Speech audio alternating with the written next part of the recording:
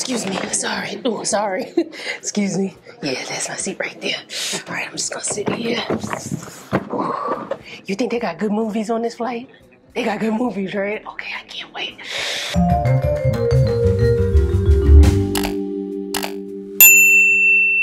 It's cold and you're gonna be traveling soon and you wanna look presentable, but you need some ideas. I got you. So I am going to give you some outfit ideas on what to wear on the plane. I'm also gonna give you some tips on what to keep in your purse, what to keep in your carry-on, and what to do if your destination's temperatures are vastly different from your origin's temperatures. But um, I'm gonna need to get dressed first, so so I get hot cold. So I like to dress in very light layers. So that way when I get on the plane and I go through, oh my God, I'm hot. Oh my God, I'm cold 50 million times. I am already equipped with what I need. So this is a really nice, cute, casual, comfy sort of look. This is perfect for me, even though it's really cold right now in New York. By the time I start moving around, I'm probably gonna be really hot. And then once I get settled, I'm probably gonna get a little bit cold, which is why I always travel with a scarf. Now, I always travel with a scarf year round. When it's warmer out, I'll travel with something a little bit more lightweight. But I love to have a scarf with me because, of course, it's a layer that I can put on when I get a little cold. And if it's big enough, it can kind of, you know, double up as a little warmth because, you know, the airline blankets. I'm like, I don't know about y'all. And also, it's really good because I tend to get sick on flights. Something about the air and it dries out my nose. I'm gonna tell you a little trick that I do for that as well later in the video. But a scarf is something that I could also kind of like put over my head and cover up my face so that I'm not getting cold. This is also something that can work as a great base outfit if you're going someplace where your destination is warmer than your origin because I can actually put on like a pair of shorts underneath here or maybe a tank top and then when I get to my destination, you know, reach in my carry-on and pull out a pair of flat sandals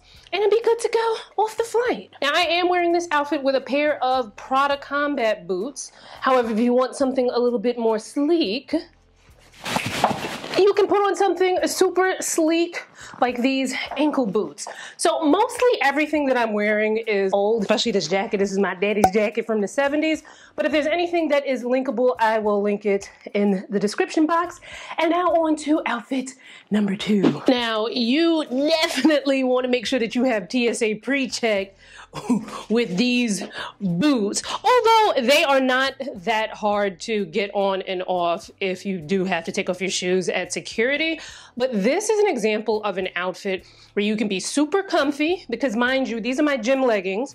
I actually tried to pick up a pair of H&M faux leather leggings to show you guys for this video but they ain't put it in my order. My gym leggings, super comfortable. The same white t-shirt I had on from before. Remember, I like light layers. I get hot, cold. Matter of fact, I'm burning up right now doing this video. So make sure you hit that thumbs up, subscribe, and turn on your notifications for, for the effort of, you know. But anyway, this outfit is an example of how you can be extremely comfortable and cute, glamorous at the same time when you are going on that flight, honey. Now, although these boots do have a slight heel to them, these are probably one of the comfiest pairs of boots that I have, but if you do prefer some flats, um, I will link some flat over the knee boots in the description box. I actually ordered a pair of the Prada over the knee patent leather boots with the you know the flats. However, they have not arrived yet, and I hope that they do arrive safely and swiftly because mama needs those boots. But these are old from Zara.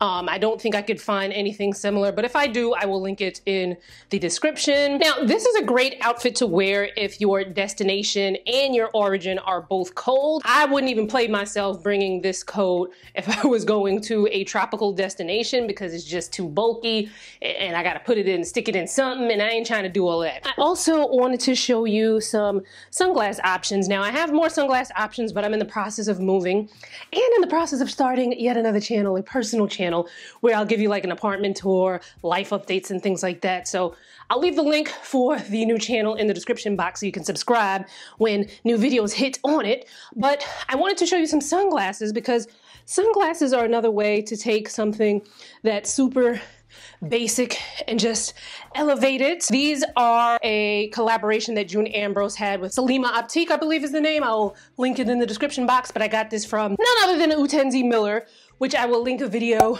on how to find a stylish eyewear for your face shape. But it's really important to also have sunglasses because, you know, the, the sun, depending on what time your flight is, and the sun all up in your eyes and you at that certain altitude, you know, can be a lot. But anyway, on to outfit number three. So this outfit demonstrates a very easy way to elevate something that's super sporty, something super casual, and it's kind of, you know, giving me a little bit, maybe just a little bit Tracee Ellis Ross vibes, right? So I have on these track pants, which I recently got from H&M. I will link them in the description box. And the jacket is from Urban Outfitters, which I also recently got, and I will link that as well. I am wearing these track pants, which I could have decided to keep snapped, but I wanted to leave it open, you know, because I get a little hot cold, to use a little air conditioning on my legs.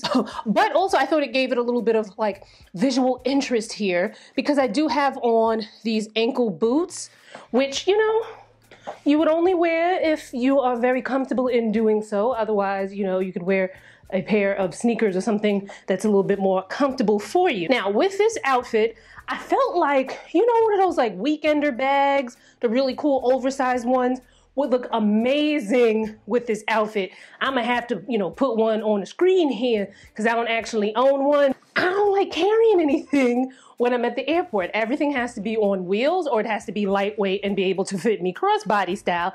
Otherwise, I'm not taking it. This coat is a great example of the type of coat to wear if your origin is cold, but your destination is warm and you're not trying to play yourself when you're coming in and out of your origin airport. You want something, of course, warm. I have tested this out already in the cold temperatures we have had in New York City already. But you also want something lightweight that isn't too puffy so that you can fold it down, put it in your carry-on, and stash it away when you get to your warmer destination. And this doesn't wrinkle when you fold it up. So I will link a couple of other really lightweight puffer jackets or, you know, similar types of coats that you can wear that can fit in your carry-on. So let's talk about what I keep in my purse, in my carry-on, and some airplane beauty tips, darling. Now, when it comes to your beauty look when you're traveling, I like to look a little polished.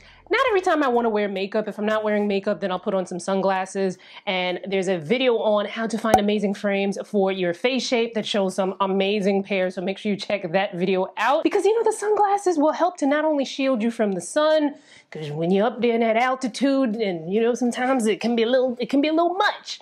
Now, as we are talking about being up there with the sun, very important. I also have a skincare channel. Go ahead and subscribe if you have not. And over on that skincare channel, I preach the importance of sunscreen. We all need it. It's been a long time folks talking about black people don't need sunscreen. We need it for many, many reasons. First of all, UVA, the sun's aging rays, can penetrate windows. So even when you're sitting inside minding your own business, working indoors, working at your office, or being on the airplane, that UVA can penetrate those windows.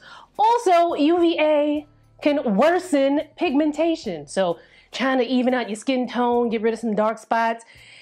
Without sunscreen, it's just like, what you doing, sis? Now, a lot of times people go way overboard with the doing the skincare routine on the plane, and a lot of times you're doing too much because by the time you get into the plane, it's already too late all that drying air and whatnot can kind of thwart your efforts, right? So come to the plane with your skincare routine already done. I will link this video below in the description so you can learn more about airplane skincare. And now on to what I keep in my purse. And yeah, sometimes I do actually keep a purse this small with me because sometimes I don't really need a ton of things in my purse. Of course, we have sunscreen, we have a hand cream, because I'm gonna be washing my hands a lot. I wanna make sure my hands don't dry out. Medication, some Advil just in case somebody's getting on my nerves and get a little headache. Gotta have my asthma pump so I can breathe. I always carry some sort of lip oil or balm for my lips so they don't get dried out. And one of my secret weapons, what's not really a secret because I've been telling people about this for quite some time, is I like to take a little tube of Aquaphor. And this is even before COVID because now we have the masks and the masks kind of help a little bit, but I still do this even though I'm wearing a mask. I take a little bit of the Aquaphor and I just stick it in my nose right here. That helps prevent the airplane air from drying out my nose, which in the past, that drying out has almost always made me sick after a flight. So I did a little swipe, swipe, swipe with the Aquaphor and it helps to keep my nose from drying out. I've used Neosporin before for my nose, which works well also, but I like Aquaphor because it has so many multiple purposes. So not only can you put it in your nose to prevent it from drying out, you can put this on areas where your skin is dry and cracked, and because we're wearing masks, this is something good. You can use this or you can use plain Vaseline petroleum jelly and just put it on the areas where your mask tends to like rub up against your skin. Because if you've noticed, you get that maskne, it's because the mask is rubbing up. It's causing friction and that friction is causing something called acne mechanica. So if you put something there to stop the friction, it helps to prevent some of that acne. Now, the Vaseline and the Aquaphor is not going to break out your skin. That is a myth and you can learn more about it on my skincare channel. Another thing I also like to keep a couple of these vitamin C drops because again, the dryness just I like to keep this so that my throat doesn't dry out. I also like to bring a couple of little packets of salt and then I'll ask the flight attendant for some orange juice and I'll kind of mix it together and, and drink that. That's also something that I like to keep in my purse. And now for my carry-on. Now, I know a lot of people are really great at being able to put like a week, two weeks, three weeks worth of clothing in a carry-on bag. I used to be one of those people where I'm just like, no, I'm not checking a bag. I want to carry everything on. But lately, I feel like I like to check a bag. I've got Delta Sky Miles and I've got the program where I can at least check my first bag for free. Sometimes I get two checked bags for free. So I like to take advantage of that when I can. But I do like to carry some things in a carry on because not everything needs to be checked. My laptop, my camera if I take it, any kind of electronics and valuables, they're staying with me. I will also keep in my carry-on an extra change of clothes just in case something happens. I would also keep some pieces that'll help you to transition once you get off the plane if your origin and your destination temperatures are like polar opposite. So some things that you might want to consider bringing, maybe a pair of flat sandals, a sundress, maybe some shorts if you're going to someplace that is really warm, if you're coming from someplace cold. And if you're coming from someplace warm and you're going to someplace cold, you know, some leggings, some jeans, some sweatpants. You may also want to keep a very thin but warm puffer jacket in your carry-on. These are things to consider, especially when the temperatures don't match. I also like to keep my makeup bag in my carry on because I don't want to get to my destination and my compacts are broken and this and that and the third. But, you know, definitely if you're going to do that, make sure that any liquids or creams, depending on where you are, are three ounces or less because you don't want to get to security and they like throw that mess out. So now is your turn to do the talking. Where are you guys going? Are you going anywhere really fancy for the holidays? Are you staying at home being fancy? What are you doing? Let me know in the comments and let me know what outfit you typically wear when you travel. Now make sure you are subscribed to this channel because you know you can be watching my videos and watching and watching and not actually be subscribed to the channel. So make sure you check that and rectify it. Turn that notification bell on so you don't miss a thing. I'm actually probably going to do a warm weather version of this with warm outfits. So make sure you are stay tuned to this channel because then when the warmer weather comes, I'll do another one. And I'll see you fine folks in my next video. Bye guys.